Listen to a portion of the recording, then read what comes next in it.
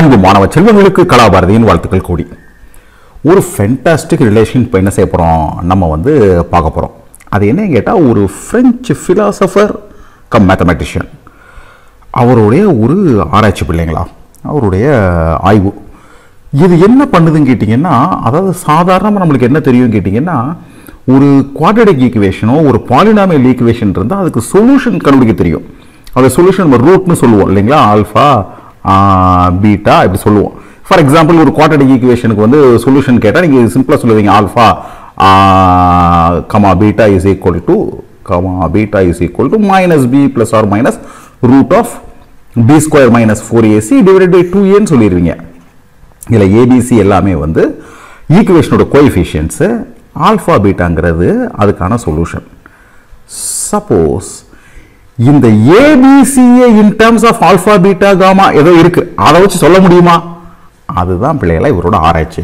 என்ன பண்ணாரு அப்படின்னு இங்கே பார்க்கலாம். ம், நான் என்ன செய்கிறேன் ஒரு சிம்பிள் கன்சிடரேஷன் எடுத்துக்கிறேன் பிள்ளைங்களா. இந்த இருக்கு இல்லையா? இதுதான் ஒரு basic quadratic equation A X square plus B X plus C is equal to zero சரியா? இதை நான் வந்து ப்ராப்பர் மேத்தமெட்டிக்கல் ஃபார்மில் எழுதுறேன். எப்படி எழுதுறேன் கேட்டிங்கன்னா ஸோ தட் எக்ஸ் ஸ்கொயரோட கோஷன்ட் வந்து ஒன்றா இருக்கிற மாதிரி. ஸோ இந்த ஈக்குவேஷனை ஹோல் ஈக்குவேஷனை ஏவால் டிவைட் பண்ணிடுறேன். So X square plus B by A X plus C by A is equal zero இதுதான் இதுக்கான ப்ராப்பர் ஃபார்ம் இப்போ நான் எனக்கு என்ன தெரியும் கேட்டிங்கன்னா சப்போஸ் இந்த ஈக்குவேஷனுக்கு ஆல்ஃபாவும் பீட்டாவும் சொல்யூஷனாக இருந்தால் ஏன்னா அங்கே எக்ஸ் பவர் டூ இருக்குது நமக்கு தெரியும். நம்ம என்ன படிச்சிருக்கோம்?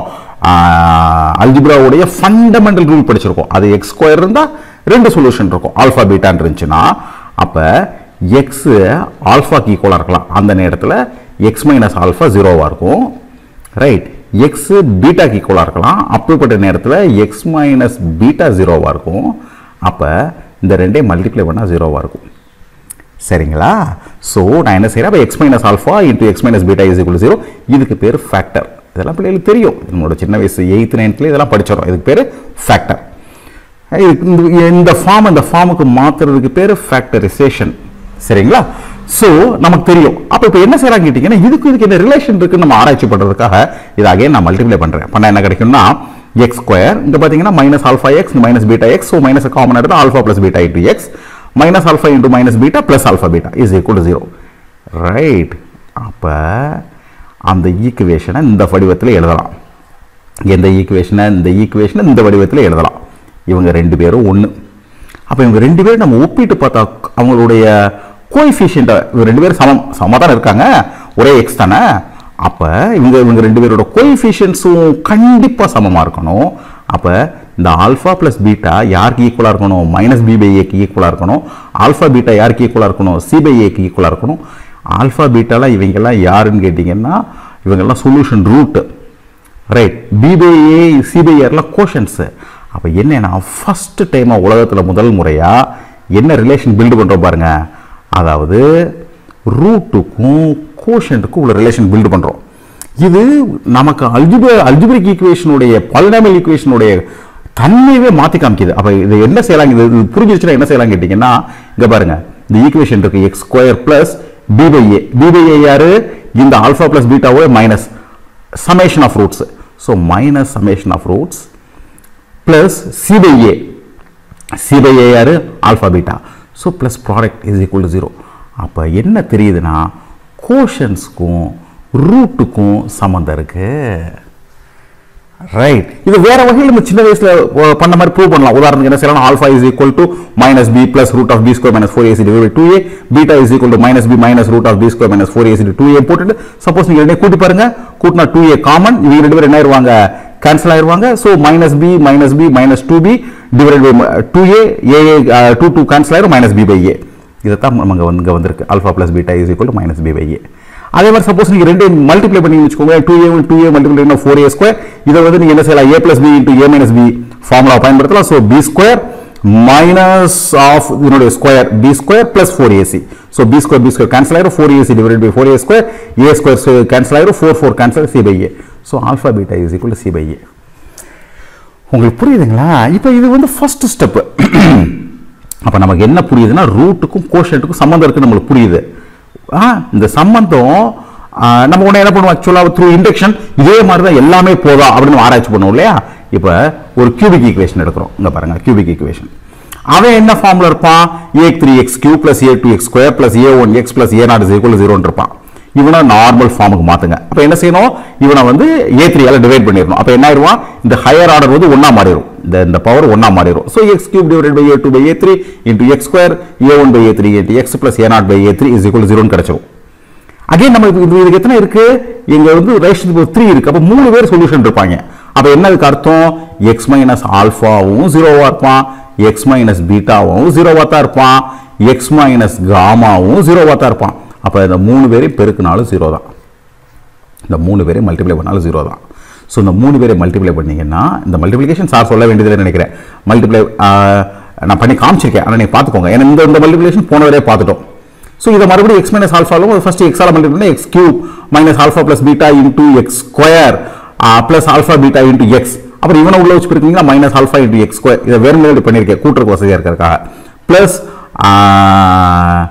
gamma into alpha plus beta into x minus alpha beta gamma is equal to zero இப்போ இதை ஃபார்ம் கொண்டா இதை இங்கே தான் நம்ம நமக்கான முக்கியம் எக்ஸாம்பிள் ஃபார்ம் இங்கே பாருங்க இந்த ஃபார்முக்கு வருது பாருங்கள் அப்போ ஒரு ஃபென்டாஸ்டிக் ரிலேஷன் நம்மளுக்கு புரியுதுங்க பாருங்கள் ஒரு ஒரு ஒழுக்கத்தில் தான் இங்கே இருக்காங்க. இங்கே பாருங்க x cube minus alpha plus beta plus gamma into x square plus alpha beta plus beta gamma plus gamma alpha into x minus alpha beta gamma is equal to zero அப்போ ஜெனரல் ஃபார்ம் எழுதலாம். அங்கே பாருங்கள் X cube minus இவங்க எப்படி எழுதலாம்? இவங்க எல்லாம் summation தானே?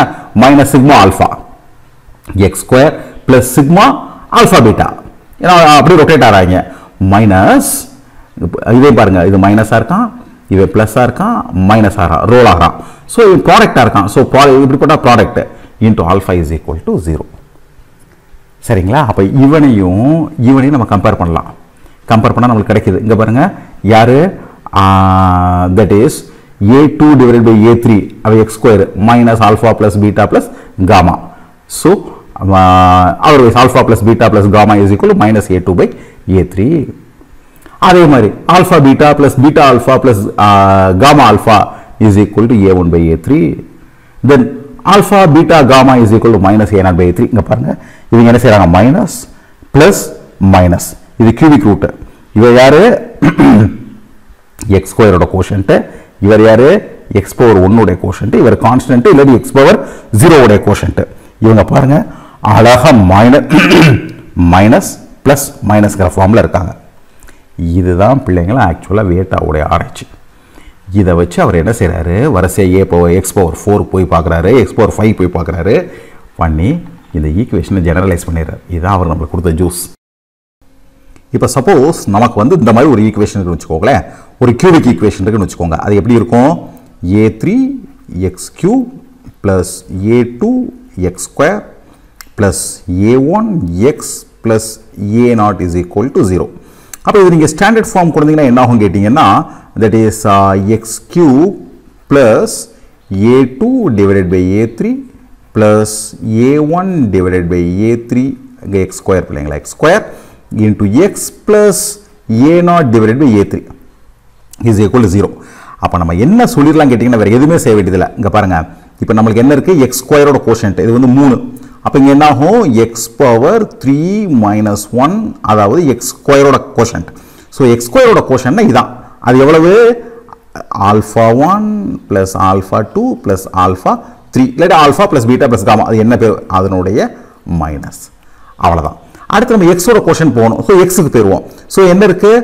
Minus one raise to the power n minus one n மூணு. மூணு மைனஸ் ஒன்று ரெண்டு. அப்போ ஸ்கொயர் uh, அப்போ இது வேண்டியதில்லை ப்ளஸ் தான். அது என்ன இருக்கு? Alpha one alpha two alpha இங்கே என்ன இருக்கு? த்ரீ த்ரீ மைனஸ் ஒன் எவ்வளவு?